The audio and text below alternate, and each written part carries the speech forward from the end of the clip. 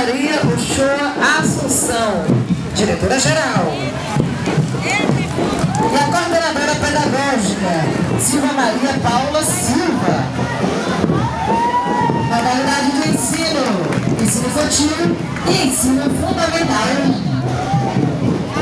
A escola funciona no turno matutino e vespertino e tem como os principais programas Tipo de Aprender, PDD, Educação Conectada, PSE, Plantão Socioeducacional, Projetos